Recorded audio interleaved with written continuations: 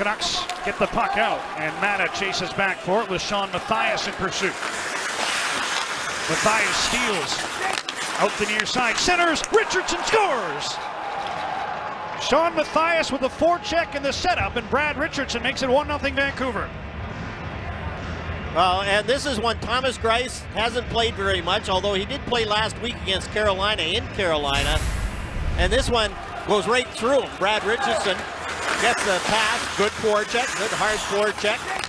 Matthias to Richardson, and the quick shot, and you can see Greiss's reaction. It went under his arm. He's there, but it goes through him, and you can see his reaction. He knows, okay, it almost hit me in the penguin, and it still went in. Canucks trying to take advantage after the icing, but here's a long pass ahead to Crosby, who's bumped by Hansen, and then Stanton.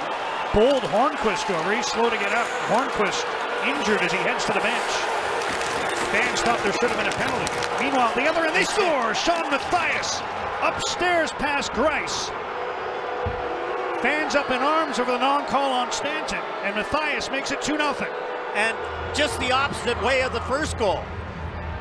Ryan Stanton on Patrick Hornqvist, and Hornqvist is going down the alleyway to the dressing room. There's the puck, and there's the hit. Hornqvist is down trying to play that bouncing puck. And here's Brad Richardson to Shawn Matthias. Simon Despres gets beaten by Richardson, who feeds Matthias.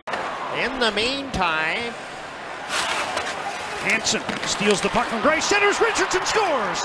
A short-handed goal as Thomas Greiss was caught out of the net. And Hansen set it up for Richardson. He has his second of the night. Uh, Marc-Andre Fleury has had problems handling the puck. Mike Bales is the goaltender coach for the Pittsburgh Penguins. And he's worked with the goalies, trying to say, okay, just make, stop it and get back in the net. Thomas Greiss, okay, stop it and get back in the net. And instead, he's got his head up. He doesn't know what he's going to do. Jannik Hansen goes right at him. And Brad Richardson, all he has to do is keep the stick on the ice. Jannik Hansen, the forecheck. That's three forecheck goals that the Canucks have scored in this one. All looking much the same, except this time the goaltender's the one who gets victimized.